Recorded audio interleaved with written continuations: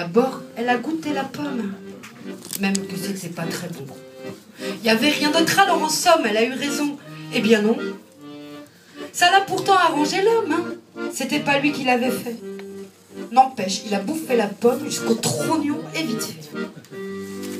Oui, mais c'est la faute à Ève. Il a rien fait lui, Adam.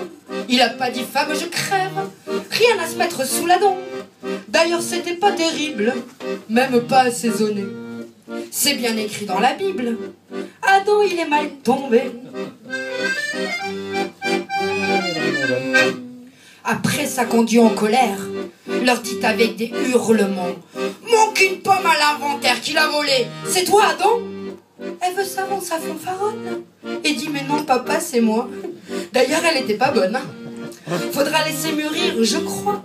Alors c'est la faute à Ève, s'il les a chassés d'en haut. Et Adam a pris la crève. Il avait rien sur le dos. Ève a dit Attends, je cueille des fleurs. C'était trop petit. Fallait une grande feuille pour lui cacher le zizi. Après ça, quelle triste affaire. Dieu leur a dit Faut travailler. Mais qu'est-ce qu'on pourrait bien faire? Ève leur a dit J'ai trouvé. Elle s'arrange à la salope pour faire éporter les enfants. Lui poursuivait des antilopes et des lapins pendant ce temps. C'est vraiment la faute à Ève. Si Adam rentrait crevé, elle avait une vie de rêve. Elle s'occupait des bébés, défrichait un peu la terre, semait quelques grains de blé, pétrit ses bols et soupières, faisait rien de la journée. Ah la feignasse Pour les enfants, ça se complique. Au premier fils, il est content. Mais quand le deuxième rapplique, il devient un peu impatient. Le temps passe, Adam fait la gueule.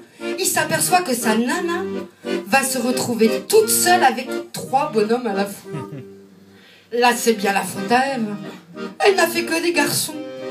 Et le pauvre Adam qui rêve de changer un peu d'horizon, lui faudra encore attendre de devenir grand-papa pour tâter de la chair tendre, si même il va jusque-là. Allez, pour les filles, en plus pour faire bonne mesure, elle nous a collé un péché. Qu'on se repasse et puis qui dure, hein? Elle a vraiment tout fait rater, nous les filles, on est dégueulasses Bah ouais, ça nous est naturel. Mais les garçons comme ça passent par chez nous, bah ça devient pareil. Mais si c'est la faute à Ève, comme le bon Dieu l'a dit, moi je vais me mettre en grève. J'irai pas au paradis, non mais qu'est-ce qui s'imagine hein? J'irai en enfer tout droit. Le bon Dieu est misogyne, mais le diable ne l'est pas.